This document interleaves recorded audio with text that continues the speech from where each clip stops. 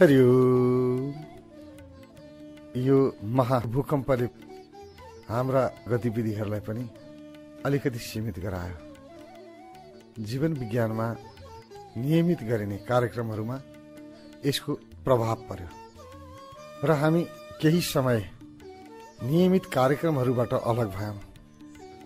र अब बिस्तारै हामी आफ्नो स्वभावमा फर्किँदैछौँ। नियमित कार्यक्रमहरूमा फर्किँदैछौँ अझै पनि पूर्ण रूपमा स्थिति अनुकूल बनिसकेका छैन। धेरै ठाउँमा हाम्रो प्रत्यक्ष सहयोगको आवश्यकता छ। त्यो आवश्यकतालाई हामीले भुलेका छैनौँ र हाम्रो दृष्टि त्यतातिर निरन्तर छ। प्रारम्भिक समयमा जीवन विज्ञान परिवार जुर्मुरायो र हाम्रा सबै प्रशिक्षक साथीहरू हाम्रा सबै सदस्य साथीहरू त्यसमा सहभागी हुनुभयो र आफ्नो तर्फबाट जे जस्तो सकिन्छ मद्दतमा जुट्नुभयो प्रारम्भिक अवस्थामा हामीले भौतिक सहयोगमा बढी ध्यान दियौँ र त्यही रूपमा हामीले विभिन्न जिल्लाहरूमा के कसरी सहयोग गर्न सकिन्छ हामी सबै त्यसैमा जुट्यौँ। र यो बेलामा मानसिक रूपमा व्यक्ति कमजोर हुँदै गएको हामीले अनुभव गर्यौँ। र हामीले दोस्रो चरणको राहत सुरु गर्यौँ। अब भौतिक राहत मात्रै होइन है। सबैभन्दा ठुलो राहत मानसिक राहत चाहिने रहेछ। मानिसको मन अस्तव्यस्त भएको छ। यो मनको व्यवस्थापन कसरी गर्ने? भौतिक पुननिर्माण मात्रै होइन। मनको पुननिर्माण कसरी गर्ने? यतातिर हामी जुट्यौँ र छोटो सजिलो सरल विधिहरूलाई प्रयोग गरेर आफ्नो मनमा प्रवेश गरेको डर त्रासबाट अभयतिर कसरी लैजान सकिन्छ? आफ्नो मनलाई यो डरबाट मुक्त कसरी गराउन सकिन्छ? त्यसको उपायमा हामी लाग्यौँ। र यो राहत निरन्तर जारी छ। अहिले पनि भौतिक राहतको साथ साथमा मानसिक राहत चलि नै रहेको छ। अब स्कुल कलेजहरू खुलिसकेका छन्। बालबच्चाहरूमा विशेष समस्या देखिएको छ। बाल बालिकामा समस्या किन छ भने आफूभन्दा अग्रजहरू आफ्ना अभिभावकहरूको व्यवहारको कारणले उनीहरूमा समस्या आएको छ। बच्चाहरू त जे भयो त्यो तुरुन्तै बिर्सन्छन् उनीहरूले एउटै कुरा मनमा लिएर बस्दैन। एकैछिन दुःख लागेको थियो एकैछिन डर लागेको थियो। तर फेरि खेल्ने साथी भेटाइयो चटक्क बिर्सेर त्यतैतिर लाग्छन् उनीहरूको मन एउटै चिजमा रुमल लिएर बस्दैन। सामान्यतया केटाकेटीहरू वर्तमानमा बाँच्छन्। यतिखेर दुःख आयो त्यतिखेर भोग्यो रोइदियो अनि एकैछिनपछि सुख आयो फेरि हाँस्यो। उनीहरूको मनमा तुस रहँदैन। भित्र गुम्स्याएर बस्दैनन् कुराहरू। जतिसुकै ठुलो विपत्ति आओस् आउँदाखेरि डराए भागे तर विपत्ति गयो फेरि खेल्न थाले जस्ताको तस्तै हुन्छ। उनीहरूको स्वभावै त्यस्तो हुन्छ। तर अभिभावकहरूको असमझदारीले गर्दाखेरि आज बालबालिकाको मनमा पनि समस्या थपिएको छ। साना साना नानीहरूले आफ्नो आमा बुवालाई सर्वस्व ठान्छन्। मेरो आमा भन्दा शक्तिशाली मेरो बाउभन्दा शक्तिशाली अरू कोही छैन जस्तो लाग्छ। त्यसैले भनिन्छ राजाको अगाडि बाबुको दुहाई। भन्नुको तात्पर्य के हो भने राजाले आफूलाई दुःख दियो भने बच्चाले राजालाई भन्छ पख मेरो बुवालाई भनिदेऊ मेरो आमालाई भनिदेऊ। उसलाई के लाग्छ भने मेरो आमा बुवा भन्दा शक्तिशाली चाहिँ राजा पनि होइन। दुनियाँको सबैभन्दा शक्तिशाली व्यक्ति मेरो बुवा मेरो आमा। जसले जहाँ जे भए पनि भन्छन् पख म आमालाई भनिदिन्छु मेरो बुवालाई भनिदिन्छु। किन यस्तो भन्छन् भने आमा बुवा भन्दा शक्तिशालीहरू कोही छैन। अब त्यस्तो सबैभन्दा शक्तिशाली आमा बुवा नै अतालिएको डराएको आतिएको देख्यो भने बच्चाको मानस पटलमा कस्तो छवि बन्ला बुवा आमाप्रति। उनीहरूको मनमा कस्तो भए कस्तो डर उत्पन्न होला। आज हामीले यही गरेका छौँ। बच्चाहरूको अगाडि कहिल्यै अतालिनुहुन्न। ठिक छ मनमा आतेश लागेको छ डर लागेको छ स्वाभाविक कुरा हो। एक पटक मात्रै भूकम्प गएको छैन बार बार गइरहेको छ। प्रत्येक धक्काले मनमा चोट परिरहेको छ। डरलाई अझ गहिरो तहमा लिएर गइरहेको छ र पनि आफ्ना बच्चाहरूको अगाडि केटाकेटीको अगाडि आफूलाई कमजोर देखाउनु उपयुक्त हुँदैन। किनभने उनीहरूको बाबुआमा प्रतिको धारणा फरक हुन्छ।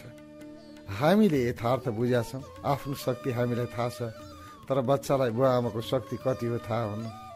असीमित शक्ति आफ्ना आमा बुवासँग भएको उनीहरूको धारणा हुन्छ उनीहरूको बुझाइ हुन्छ। त्यसैले आफू कमजोर भएको देखाउनु भनेको बच्चाको मनस्थितिमा डर प्रवेश गराउनु हो। मेरो आमा बुवा नै डराइरहेको छ। अब केही गर्ने। अब मेरो सुरक्षा हुँदैन। पुरै असुरक्षाको अनुभूति बच्चाहरूलाई हुन्छ। हामीलाई के लाग्छ भने आफ्नो कुरा न हो। म डराएँ त मेरो कुरा न हो। अरूलाई के मतलब भन्छौँ होइन। म डराउँदाखेरि कति धेरै मानिसलाई असर गर्छ। म खुसी हुँदाखेरि कति मानिसलाई असर गर्छ। यसको बोध हामीलाई छैन। एकजना व्यक्ति घरमा खुसी भयो भने पुरै घर खुसी हुन्छ। एकजना व्यक्ति घरमा दुखी भइदियो भने पुरै परिवार दुखी हुन्छ। असर गर्छ सबैमा।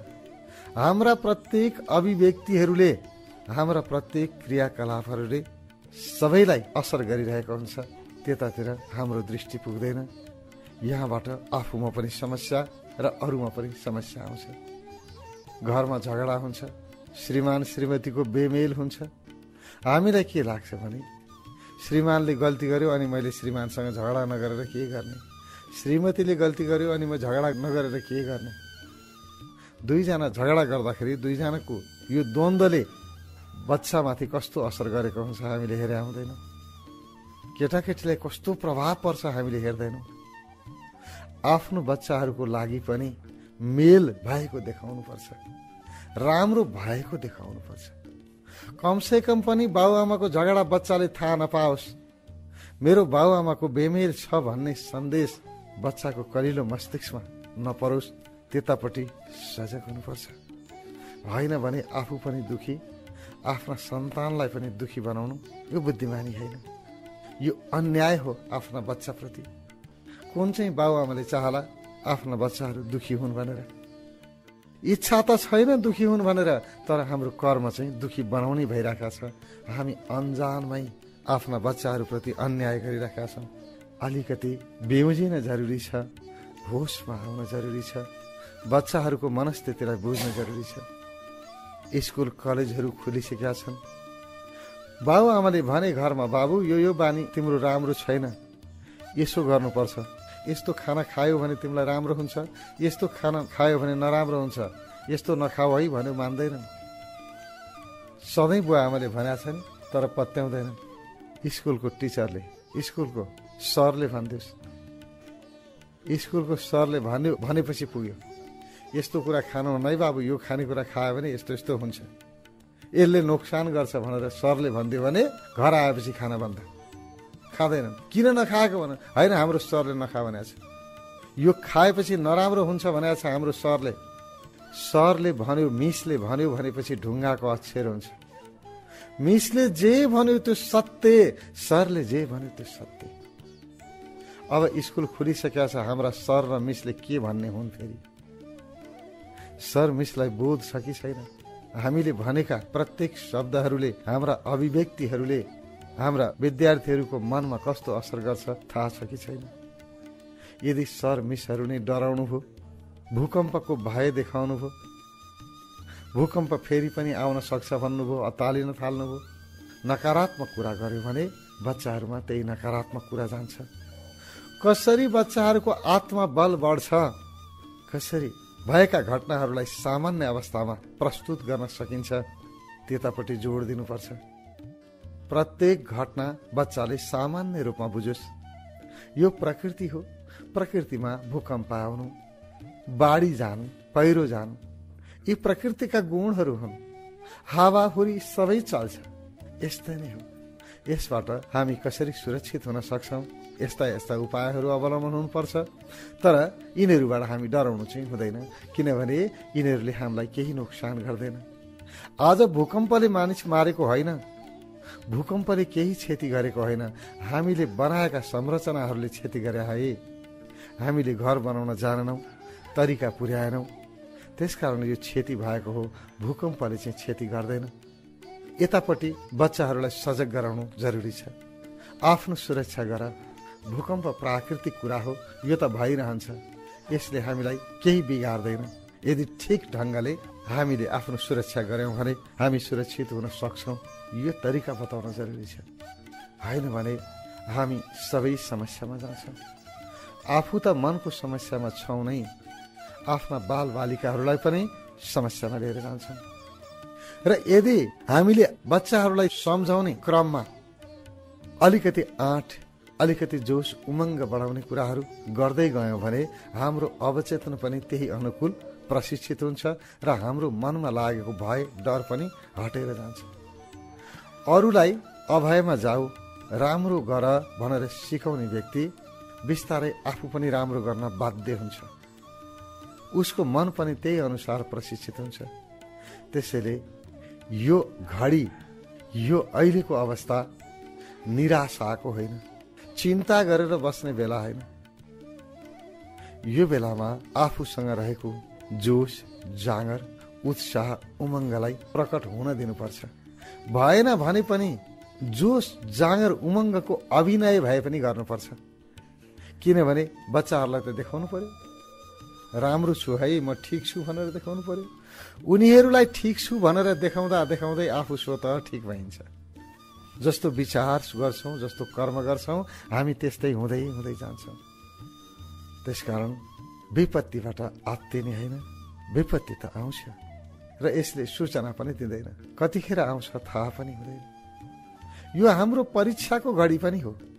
हाम्रो मन कस्तो छ? हामी कति अतालिन्छौँ हामी शान्त स्वभावका व्यक्ति हौ या अशान्त चित्तका मानिस हौ? यसैबाट थाहा हुन्छ जसको चित्त अत्यन्तै अशान्त छ अस्थिर छ यही व्यक्तिहरूलाई बढी डर लाग्छ। जसको चित्त शान्त छ ऊ यो भूकम्पमा पनि बाहिर कम्पन भइरहेको छ तर भित्र शान्त रहन्छ अकम्पित अवस्थामा रहन्छ। उसको आन्तरिक चेतना अकम्पित नै रहन्छ। त्यसैले ध्यानको आवश्यकता छ भनेको हो। ध्यानबाट हाम्रो चित्त शान्त हुन्छ। बाहिर जतिसुकै कम्पन होस् हाम्रो भित्री मन कम्पित हुँदैन। जस्तो सुकै अप्ठ्यारो स्थितिमा पनि हाम्रो धैर्य गुमेको हुँदैन हाम्रो आत्मबल क्षय भएको हुँदैन। ध्यानले सबै हाम्रा आन्तरिक सम्पदाहरूको संरक्षण गर्छ यसको रक्षा गर्छ। त्यसकारण ध्यान जीवनको लागि अपरिहार्य तत्व भनिएको हो। आफूलाई समग्र रूपमा व्यवस्थित गर्नु आफ्नो मनको व्यवस्थापन गर्नु र आफू पनि खुसी र अरूलाई पनि खुसी बनाउनु यो हाम्रो धर्म हो कर्तव्य हो हाम्रो स्वभाव हो र यसको लागि ध्यान जरुरी छ। हामी सबैलाई पनि आफू पनि आत्मविश्वासी बन्ने अरूभित्र पनि आत्मविश्वास जगाउने अवसर प्राप्त होस्। हामी सबैलाई पनि ध्यानस्थ हुने अवसर प्राप्त होस्। यो मङ्गल भावको साथमा। हरियो